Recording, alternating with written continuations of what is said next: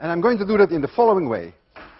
I have here a spray paint can, which is suspended between two springs. And I can oscillate it vertically, which is your x direction, like that. So x changes with time. The time axis I will introduce by pulling on this string.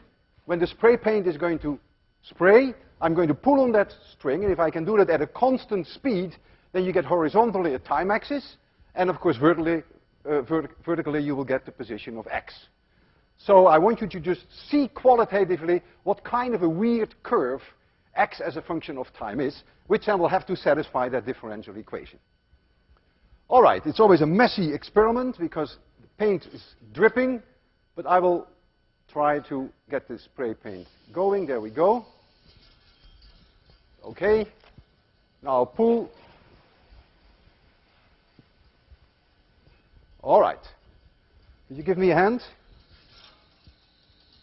Yeah, could you please? I'll cut it here and then you be very careful because it's, it is messy. Or let's put it, let it take it out this way.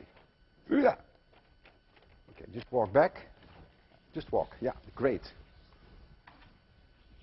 Yeah, hold up the top so that you can see it. Fine. Okay.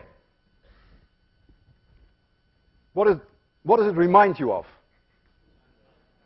Sinusoids. It reminds me of a cosinusoid, by the way.